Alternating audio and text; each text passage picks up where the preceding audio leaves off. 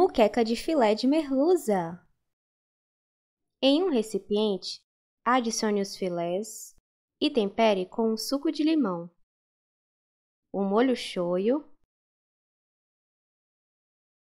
a pimenta do reino, misture com as mãos. Cubra com um plástico filme e leve à geladeira por 20 minutos. Em uma panela funda, adicione o azeite, os filés, acrescente os tomates, o pimentão, a cebola, o leite de coco, tampe a panela e cozinhe em fogo baixo por 30 minutos.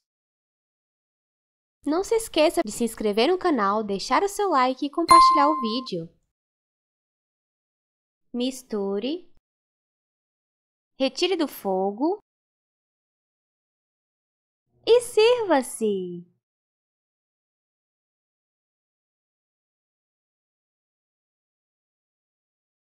Se gostou, deixe seu like e compartilhe! Obrigada por assistir, inscreva-se no canal e siga as redes sociais. Até mais!